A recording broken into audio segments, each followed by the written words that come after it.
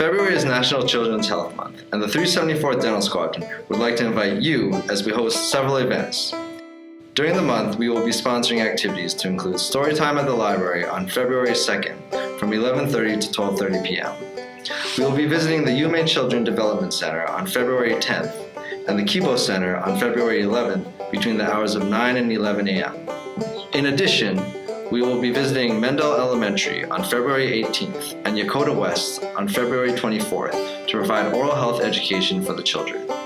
Our concluding event, Little Teeth, Big Smiles, will be held on Saturday, February 28th from 8 a.m. to 12 at the Yokota Dental Clinic.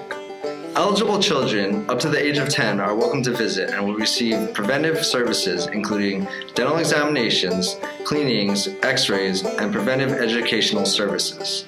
Walk-ins are welcome, but will be seen as time is allotted on a first come, first served basis. So mark your calendars and make your reservations early by calling 225 8864, option 2.